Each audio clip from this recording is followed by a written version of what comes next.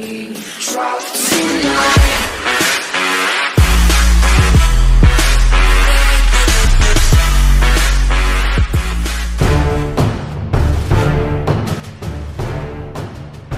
Choosing the Maserati Levante is a decision driven more by desire than by rational thought. Its hot-blooded Italian character sets it apart from its rivals, even those that are quicker and more luxurious.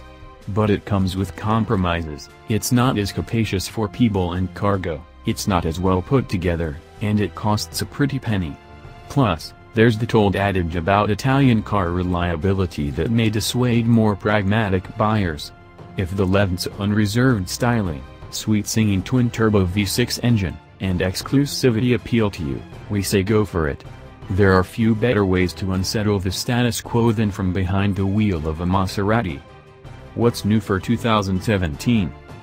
The Levante is an all-new model for 2017, adding a much-needed crossover SUV to Maserati's portfolio.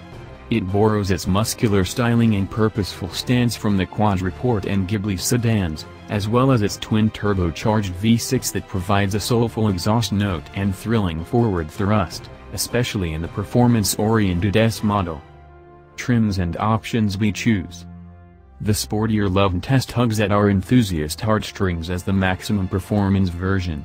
Although it starts at $85,050, a princely $11,200 more than the base Levante, it brings with it a bevy of upgrades to justify its higher price, including 424 horsepower twin-turbocharged 3.0-liter V6 engine, panoramic sunroof and 19-inch wheels, full leather interior, blind spot monitoring, front and rear parking sensors, and remote start.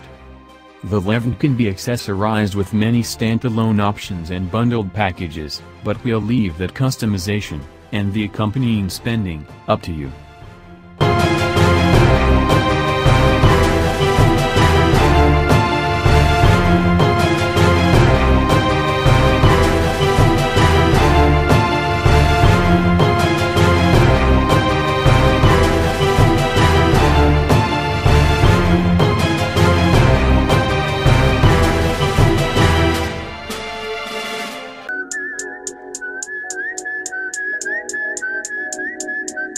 Rob Stone, two damn phones, Babylon's.